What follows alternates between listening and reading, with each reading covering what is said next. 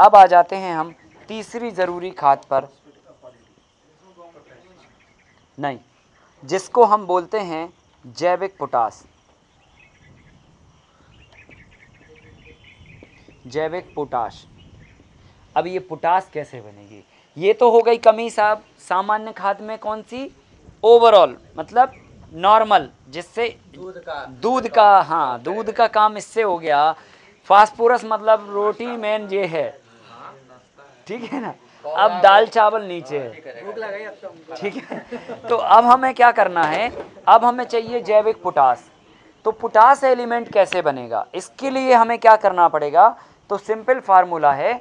इसके लिए आपको गाजर घास जो होती है पार्थेनियम अंग्रेज़ी में बोलते हैं कांग्रेस बोलने चालने की भाषा में बोलते हैं और उसको गाजर घास हिंदी का नाम है।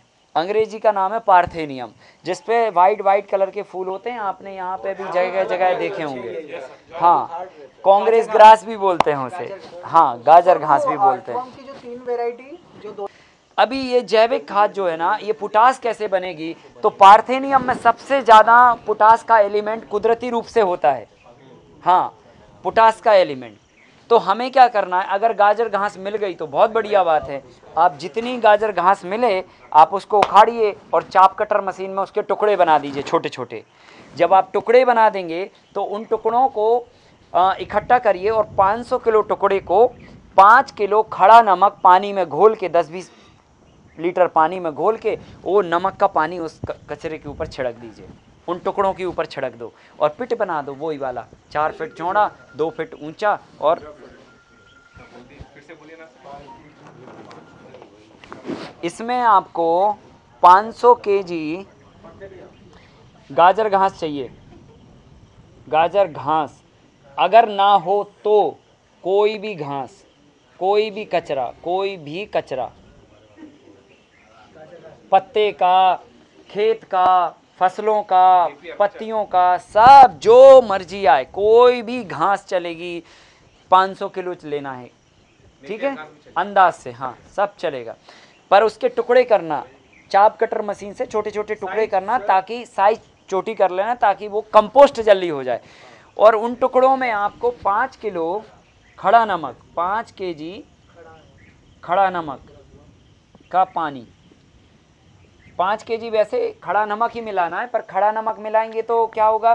वो पाँच किलो में एक नमक का ढेला उधर गिर जाएगा, एक इधर गिर जाएगा। तो बेटर है कि आप इसमें पानी में घोल लो नमक को, है ना?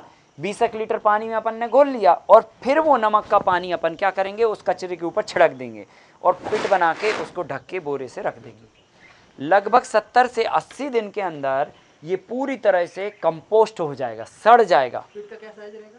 स्पिट का साइज़ वही है चार फीट चौड़ा दो फीट ऊँचा बारह से पंद्रह फीट लंबा। उसमें अपन ने ये कचरा बिठा के रख दिया।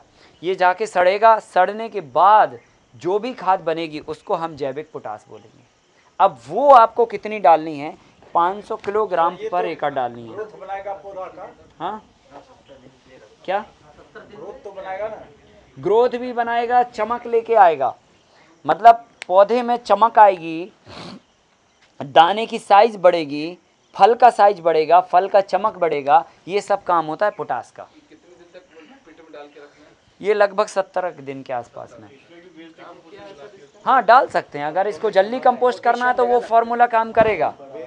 वेस्ट डिकम्पोजर का। वेस्ट डिकम्पोजर का फार्मूला आपका कोई भी खेत में घास को सड़ानी है सूखी वाली उस पर भी काम करेगा।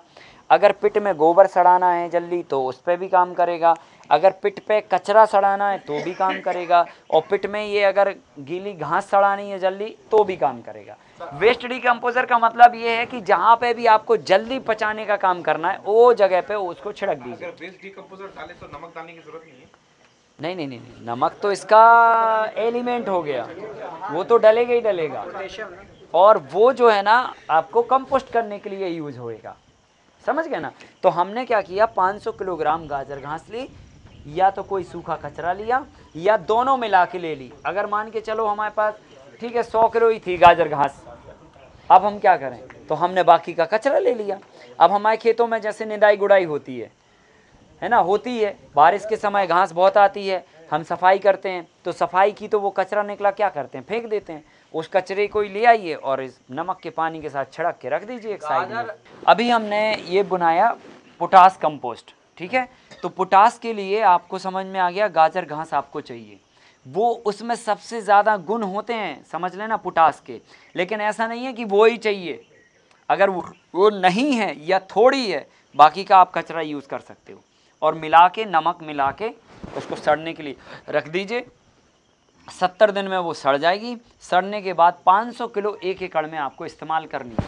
केवल 500 किलो। ठीक है? एक एकड़ में।